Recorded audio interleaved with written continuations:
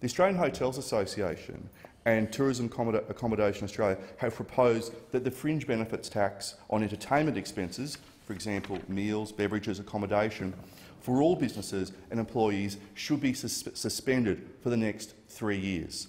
This initiative would benefit businesses and employees, tradies, builders, hairdressers, for example, to allow an employer to shout their, their, their staff, their, their team members a meal, a few drinks, maybe a weekend away for the, the employee of the month. So I strongly support the FBT being suspended on entertainment expenses for the coming three years. This is about jobs and stopping more businesses going to the wall. This initiative will encourage businesses to reward their staff in the hospitality, hospitality accommodation and tourism sector, which it needs it most. At the same time, they would be supporting retention of over 1 million jobs. This would be a win for employers and employees alike, at relatively little cost to the government.